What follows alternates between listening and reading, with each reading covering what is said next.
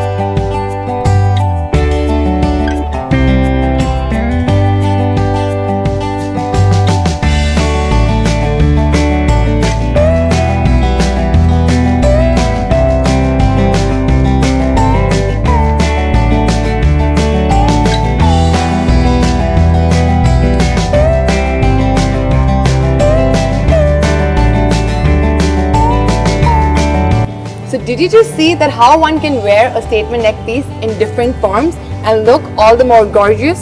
Don't forget to log me to AskMeBazaar.com and check out the jewelry collection and of course your team Style Coquettes is here to give you all the gyan on style. So stay tuned on AskMeBazaar.com. Bye.